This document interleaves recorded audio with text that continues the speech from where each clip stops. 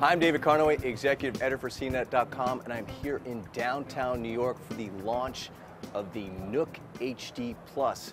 This is a 9-inch tablet, that's right, 9 inches, not 8.9 inches, um, and it has a 1920 by 1280 resolution and 256 PPI, that's pixels per inch, um, and that's just slightly less than the 264 pixels per inch on the iPad.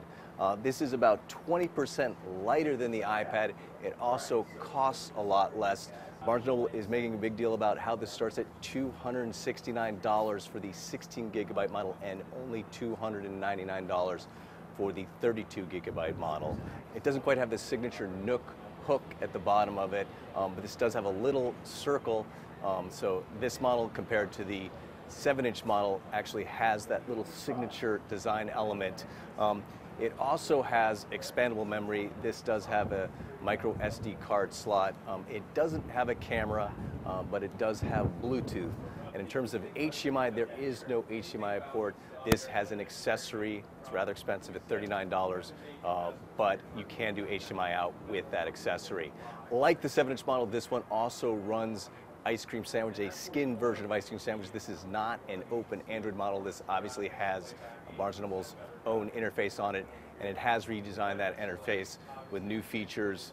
You can now do various profiles for the different members of your family. The other big new feature here is Nook Video. It isn't Vudu or something else like that. This is actually a Nook video store.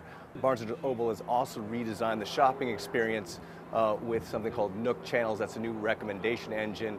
Um, it doesn't apply to just books, but also to apps and video.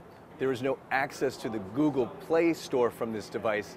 Uh, this is a curated app experience. There are about 10,000 apps right now in the Nook store, um, and more being added each day. In terms of performance, like the Kindle Fire HD 8.9 inch, this has the same 1.5 gigahertz processor. So you can see pretty similar performance in terms of the Kindle Fire HD, at least at first glance. As for battery life, you get about 10 hours of reading on this device, and Barnes & Noble says you can get up to nine hours of video watching. This does not have a set of stereo speakers, but it does have a single speaker. Barnes & Noble says it has worked with SRS to improve the sound of that speaker.